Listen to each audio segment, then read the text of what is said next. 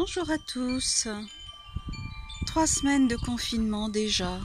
Oui, c'est vraiment pénible. Surtout avec le beau temps qui arrive. On a envie de sortir, d'aller voir la mer.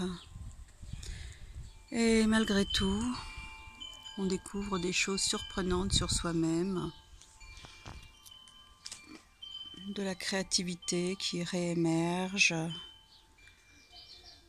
et puis l'intériorité. Et heureusement qu'il y a ce petit bout de jardin, je mesure à quel point c'est une chance. Un petit bout de jardin avec des, des fleurs en pleine éclosion. Et ça c'est un vrai bonheur, c'est vrai que la nature est un réconfort. Voilà, c'est un petit jardin désordonné. Euh, je m'en occupe quand je peux. Là, il y a des yuccas qui poussent euh, tout seul. Et puis par ici, alors une petite splendeur, une grande splendeur même, puisque les tiges sont très longues comme vous le voyez. Ce sont ces iris que j'ai plantés euh, il y a deux ans. Il ne se passait rien du tout. Et puis cette année, voilà, euh, se sont mis à pousser, à éclore. Ils sont très longs. Je ne savais pas que l'iris pouvait être euh, si haut. Et ils sentent divinement bon. Je suis sûre qu'un jour, dans les vidéos, on pourra sentir les parfums. Et celui-là, oui, c'est un bien sûr un parfum d'iris, mais il y a aussi un petit peu de fleurs d'oranger. Et je trouve qu'il est vraiment somptueux. La nature est un enchantement, un émerveillement, une source de méditation, de partage. Il y a beaucoup d'insectes aussi, je trouve. Ces temps-ci. Et c'est surprenant. Voilà, là il y a un lys, des lys qui vont sortir.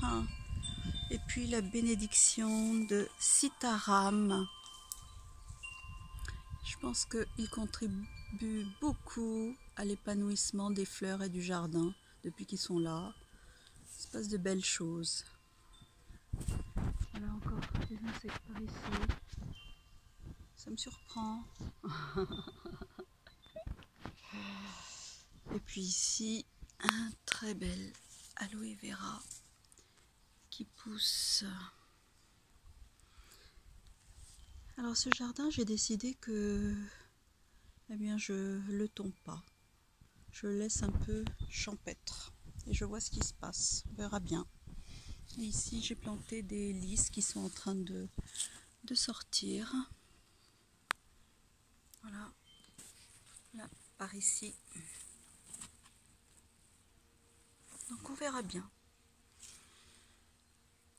Voilà d'autres euh, iris.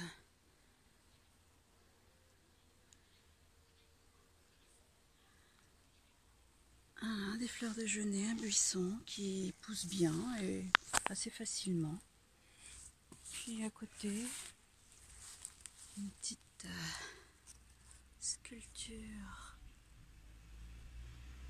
Une des premières que j'ai faites.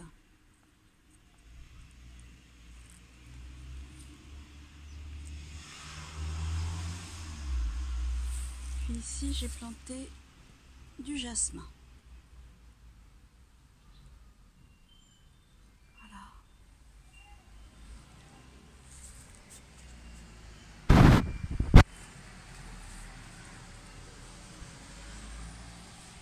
un olivier qui pousse très bien. Et à l'ombre, j'aimerais bien vous montrer tout en entier, mais ça a l'air compliqué. Alors je vais vous montrer l'abricotier, qui lui est une vraie splendeur. Voilà.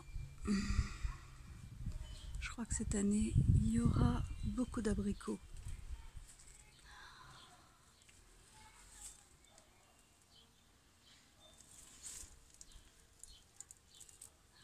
écorce.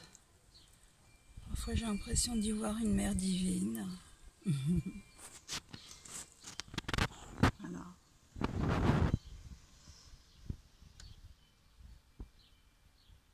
je vous souhaite une excellente journée. À très bientôt.